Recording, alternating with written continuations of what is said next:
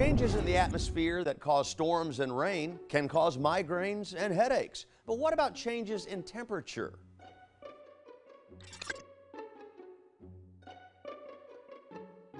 Changes in weather are essentially challenges to the immune system. So, a sudden change in temperatures can have major impacts on your health. For instance, a small drop in temperature, as little as 2 degrees Fahrenheit, can cause an additional 200 heart attacks per day.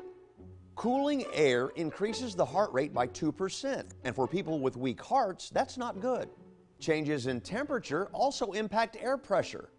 Cold air causes air pressure to rise, while warmer air does the reverse. These changes can have the same impact on you as a thunderstorm and have been linked to not only headaches, but joint pain. Healthcare professionals even believe pressure changes can cause women to go into spontaneous labor, with the shift causing a membrane rupture. But research has yet to provide a firm link between the two. Also, alternating your AC between hot and cold can dehumidify the air. This can cause pollen, dust, and mold trapped in your air filter to then be blown out into your home, which can aggravate sinuses. If your air filter hasn't been changed in six months, do it now.